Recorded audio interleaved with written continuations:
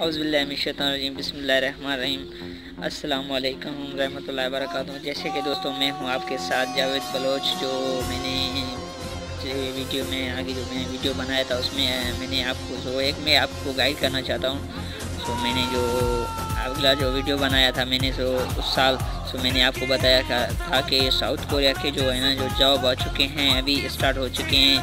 وہ کہنا یہ کہنا چاہتا تھا کہ سارے دوست سارے دوست ہیں جو نا اس میں اپلائی کریں۔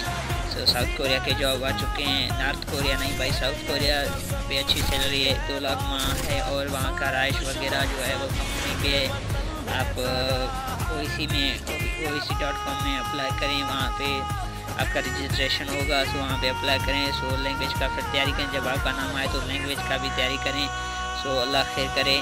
ابھی سولہ مارچ سے اسٹارٹ ہو، دس مارچ سے اسٹارٹ ہیں، سولہ مارچ پر ختم ہیں۔ سو آپ کوشش کریں، اپلائی کریں اور اپنا لک آزمائیں میں آپ سب کو گائیڈ لائن کرنا چاہتا تھا۔ تو اس لیے میں نے یہ ویڈیو بنایا کہ آپ جو بھی بندے فارغ ہیں پاکستان میں، جو کام وغیرہ نہیں ملتا ہے، ان کو وہ وہاں پہ اپلائی کریں۔ انشاءاللہ آپ کا کام ہو جائے گا۔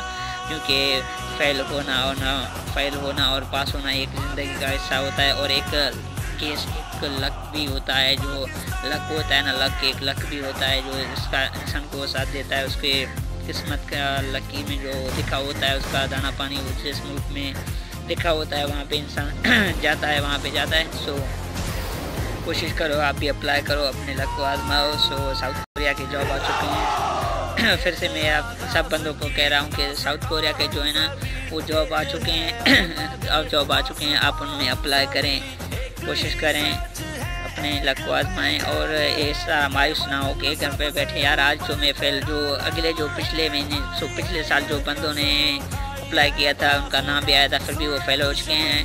Don't be serious don't be confuse یار، آپ مایوس نہ ہو، پھر سے آپ کوشش کرو۔ انشاءاللہ اس سال آپ کا نام ضرور آئے گا اور ان سال، انشاءاللہ آپ کا کانٹریکٹ بھی ضرور انشاءاللہ ان سال آئے گا۔ سو آپ اپلائی کریں، اللہ خیر کرے۔ ٹھیک ہے بھائی آپ سب کو دوستوں کو اجازت دیتے ہیں۔ اللہ حافظ۔